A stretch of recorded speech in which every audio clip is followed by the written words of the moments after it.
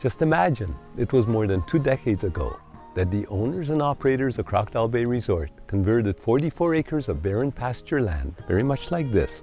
void of any vegetation whatsoever, to a family destination catering to elite anglers and a sanctuary for wildlife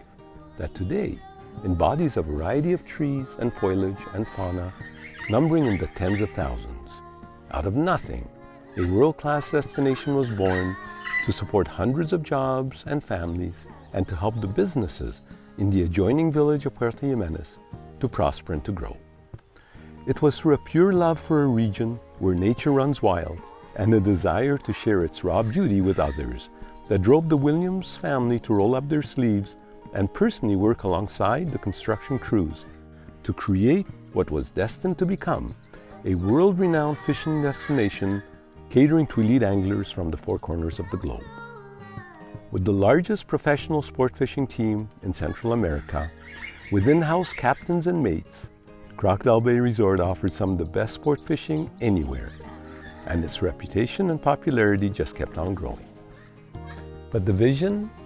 for Crocodile Bay Resort was much grander, and the Williams family started to work on a master plan that would attract an even greater audience, and that would rival some of the most iconic vacation destinations on earth. And it took more than 14 years to acquire the entitlements and the permits necessary to transform Crocodile Bay Resort into what promises to be a landmark destination and a new Costa Rican legacy. As you can see, the evolution of Crocodile Bay Resort continues as construction is well underway and we start completing the concrete walls in the first phase. And in March, construction of the reception area, restaurant, back of house, and the pool, along with all the gardens, will begin with a completion date in October. We are so proud to partner with one of the most recognized and successful hoteliers in history as we transform to Botánika, Osa Peninsula, Curio Collection by Hilton. This fall, the first phase of Botánika will be completed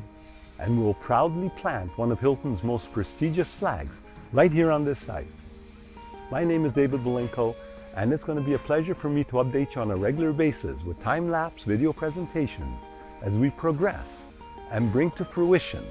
a vision that was put into motion so many years ago.